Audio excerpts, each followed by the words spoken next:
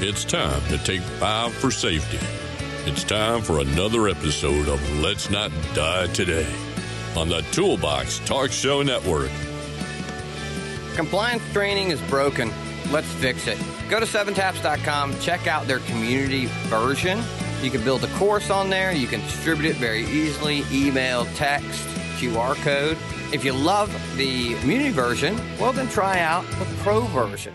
Get all our bonuses, which include seven courses already made for you, a nice little discount, and a 30 minute call with me to get you started. Check it out, toolboxtalkshow.com backslash training.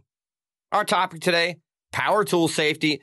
You know, power tools seem to be an everyday part of life, and that can lead to complacency. Power tools can be dangerous when not used properly. In this episode, we will discuss ways you can stay safe when operating a power tool. Let's start with definitions. A power tool is a tool that is actuated by an additional power source and mechanism other than just manual labor that is used with hand tools. The most common power tools are electric, pneumatic, liquid fuel, hydraulic, and power actuated. Or a power tool is a power device that aids in accomplishing a task. These can include tools for cutting, grinding, drilling, sanding, or fastening, just to name a few. Let's talk history. The Egyptians created one of the first power tools of sorts. However, primitive by today's standard, the development of a hand powered lathe is widely considered the first ever power tool. The Greeks developed a drill that was powered using a crank. When the crank was rotated, the drill would spin to put holes in objects.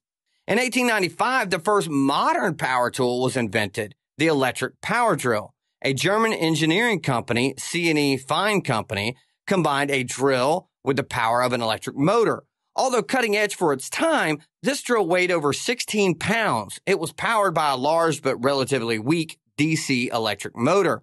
The drill was bulky and the operator had to hold it by both handles and lean into a chest plate to drill into the work surface. It would take 20 years for someone to improve on this model. In 1910, Duncan Black, a tool and die worker, scraped together $600 to start a machine shop. His friend Alonzo Decker would become his partner, and together they decided to improve on the C&E drill. In 1916, they started selling a trigger switch, pistol grip, electric drill inspired by the Colt 45. One person could operate it, and it had a small, powerful motor. This humble start was the beginning of Black and Decker a company that, as of May 2022, has a market value of over $17 billion. On September 17th, 1991, ABC Network even launched a show based on men's obsession with power tools. Home Improvement, starring Tim Allen. This show would run for eight seasons with a total of 204 episodes. If you haven't seen this 90s classic, you should check it out. You can purchase it and stream it on Amazon, among other platforms. Let's talk statistics. Power Tools cause over 960,000 injuries every year.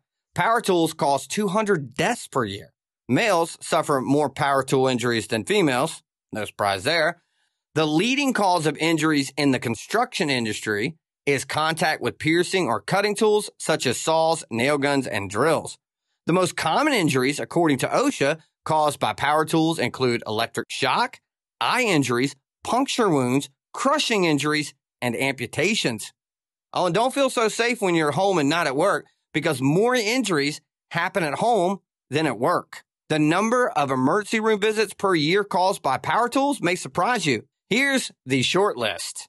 Circular saws, 10,600 ER visits every year. Power drills, 5,800 ER visits every year.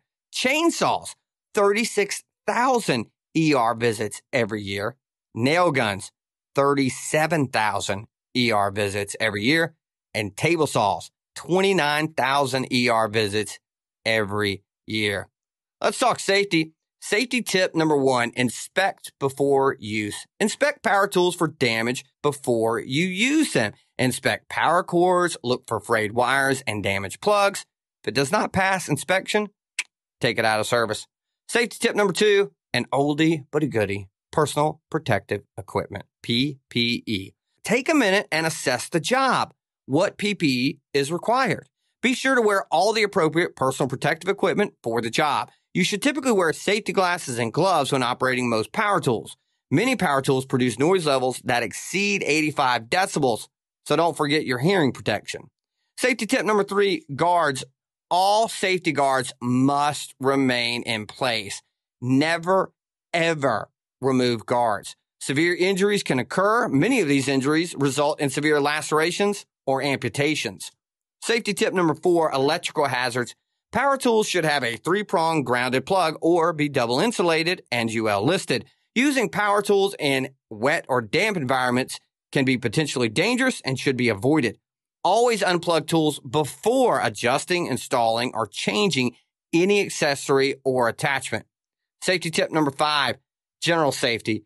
Do not wear loose fitting clothing or jewelry that dangles. Restrain long hair. Keep fingers and hands away from rotating or moving parts. Keep work areas clean. Ensure that cords from electric tools do not create a tripping hazard.